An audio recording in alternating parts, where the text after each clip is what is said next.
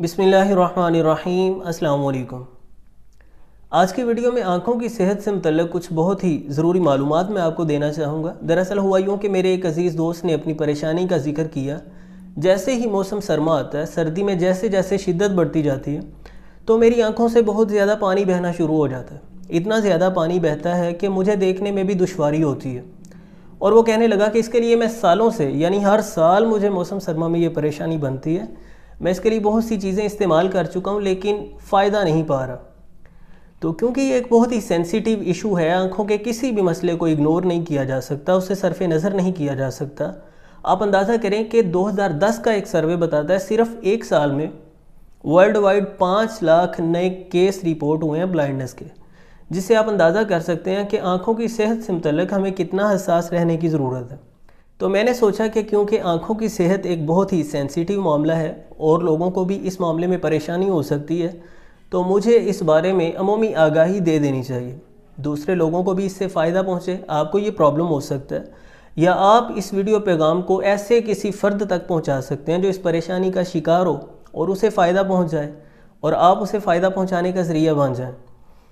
तो मुख्तसर मैं आपको बताना चाहूँगा कि मौसम सरमा के अंदर ये जो आँखों से पानी बहने की शिकायत पैदा होती है आर्जा लाक होता है, इसकी बहुत बड़ी वजह। वैसे तो इसकी वजूहत की एक लंबी फहरिस्त है, लेकिन जो एक मेजर रीज़न मेरे सामने आई है, वो ये है कि आँखों के अंदर खुश्की पैदा हो जाती है। क्योंकि सर्दी के मौसम के अंदर, फ़ज़ा के अंदर खुश्की होती है, उससे हमारी आँखों के अंदर खुश्की पैदा हो जाती है। अब खुश्की पैदा होती है तो ये पानी कहाँ से आता है फिर? ये दरअसल जो सेल्फ डिफेंस मैकनिज़म है बॉडी का जो दिफाई निज़ाम है, खुदकार दिफाई निज़ाम, ये रद्द अमल के तौर पर आँखों में बहुत ज़्यादा पानी पैदा करता है। क्योंकि ये आँखों के हमारे पर्दे बहुत हसास होते हैं, जल्द बहुत हसास होती है। इन आशा को, इन गिशाओं को नुकसान ना पहुँचे, ज़र ना पहुँचे खुश्की के साथ। हमारा दिफाई निज़ाम फिर पानी पैदा करता है। उससे होता यह है कि हमें जितना पानी दरकार होता है, उससे भी ज़्यादा पानी पैदा होने लगता है। आँखों में बहुत ज़्यादा पानी बहने लग जाता है। अब अगर ये पानी देर तक बहता रहे, बहुत ज़्यादा पानी बहता रहे तो इससे आई साइड पर बुरा असर पड़ता है। आँखों की कुत बसारत कमज़ोर होना शुरू हो जाती है। तो हमें इसका ख्याल करना चाहिए, हमें इसका इलाज करना चाहिए, इसे इग्नोर नहीं करना चाहिए। अच्छा इलाज की तरफ़ हम बाद में आते हैं। पहले एक और बारीक नुकता आपको जहन नशीन करना है कि मौसम सरमा में जिस तरह आँखों के अंदर खुश्की पैदा होती है इस खुश्की के पैदा होने में जिस तरह फ़िज़ा का किरदार है, आबो हवा का किरदार है, विटामिन ए की कमी का भी उतना ही किरदार है। जब बदन के अंदर विटामिन ए की कमी हो जाती है, विटामिन ए डेफिशिएंसी से भी आँखों में खुश्की पैदा हो जाती है। आँखों की सेहत का विटामिन ए पर दारो मदार बड़ी हद तक। तो जैसे ही बदन में विटामिन ए की कमी होती है, आँखों में खुश्की पैदा हो जाती है। आँखों में जब खुश्की पैदा होती है तो हमारा दिफाई अमल रद्द अमल के तौर पर आँखों में बहुत ज़्यादा पानी पैदा करता है। अब हम बात करते हैं, ये मोटा मोटा सा आपने समझ लिया आँखों में पानी पैदा होने की रीज़न को।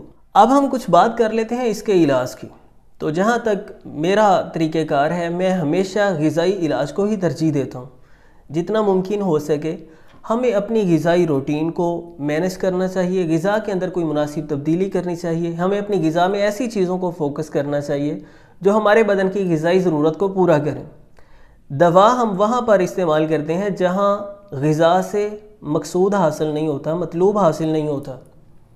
तो विटामिन ए की कमी को पूरा करने के लिए ग्रीन वेजिटेबल्स बहुत अहम किरदार अदा करती हैं। जो सब्ज़ रंग की सब्ज़ियाँ हैं, उसमें खीरा, करेला और पुदीना, सब्ज़ धनिया, कोई भी चीज़ जो हमें सब्ज़ फॉर्म में मिलती है नेचुरल सब्ज़ चीज़ों के अंदर वाफिर मकदार में सब्ज़ जो कुदरती चीज़ें हैं, सब्ज़ियों की शक्ल में उनमें वाफिर मकदार में विटामिन ए पाया जाता है।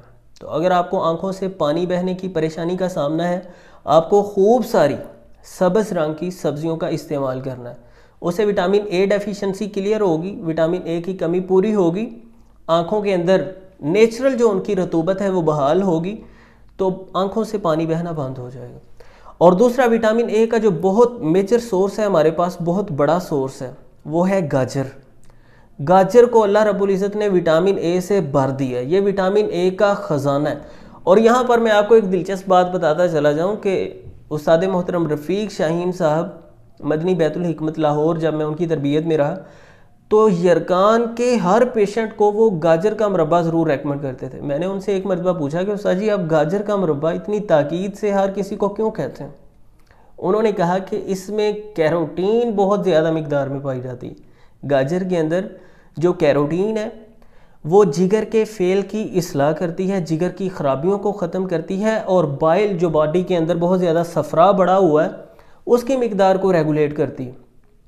तो मैं जब गाजर पे स्टडी कर रहा था, कैरोटीन को मैंने पढ़ना शुरू किया तो बहुत ही दिलचस्प बात मेरे सामने आई कि कैरोटीन का जब इस्तेहाला होता है, डाइजेस्टिव सिस्टम से ये गुजरती है, आंतों के अंदर इसकी बॉन्डिंग जब कैरोटीन की टूटती है, ये डाइजेशन से गुजरती है तो इससे भी विटामिन ए पैदा होता है। यानी एक तो गाजर खुद विटामिन ए से भरपूर है, जो कि आँखों की सेहत के लिए बहुत अच्छा है। और दूसरा, गाजर के अंदर जो कैरोटीन पाई जाती है, जो जिगर के फेल की असलाह करती है, वो भी जब टूटती है, हजमो, जज़ब के अमल से गुजरती है तो उससे भी वाफिर मकदार में विटामिन ए पैदा होता है, जो कि आँखों के नकाइस को ख़त्म करता है। अभी मैं गाजर के दीगर फ़वाद की तरफ़ नहीं बढ़ रहा कि गाजर जो है फेफड़ों के लिए मुनफी से बलगम की खासियत रखती है। गुर्दों पर मुदिर बोल असरात मुरतब करती है। मुकवी है, पूरे बदन को ताकत देती है। गर्म तर गाजर का मिजाज है और ये तमाम आज़ाए रईसा को, यानी दिल को, दिमाग को और जिगर को बहुत ज़्यादा ताकत बख्शती है। जो लोग दुबलेपन का शिकार है, उनके बदन को फरबा करती है।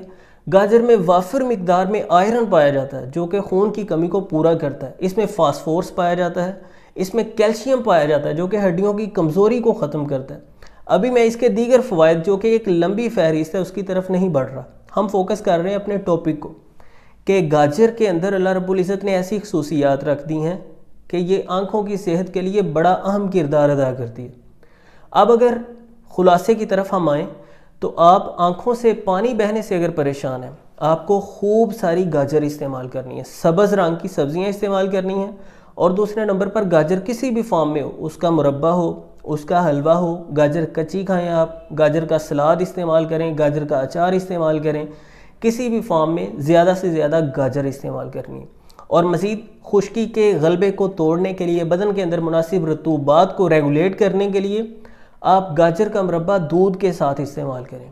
आप रूटीन बना लें, सुबह नाश्ते में आपको मुनासिब सी गाजर इस्तेमाल करनी है, गाजर का मुरबा इस्तेमाल करना है और साथ आपको दूध इस्तेमाल करना है। इन मैं समझता हूँ कि आपको किसी मेडिसिन की ज़रूरत नहीं पड़ेगी जब आप वाफिर मकदार में गाजर का इस्तेमाल करना शुरू कर देंगे।